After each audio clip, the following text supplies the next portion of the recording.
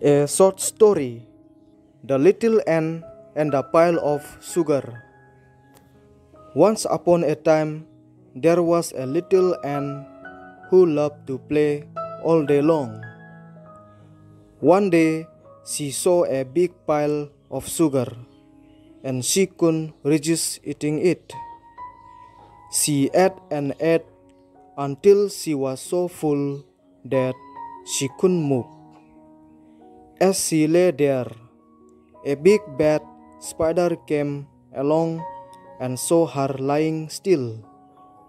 The spider thought she was dead and was about to eat her.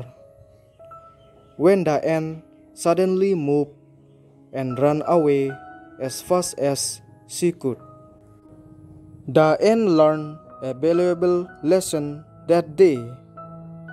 Too much of eating can be harmful. From then on, she ate only what she needed and was never in danger of being caught by the spider again. Moral of the story is moderation is key and we should always be careful not to overindulge in anything. Thanks for watching. Do like, share and subscribe.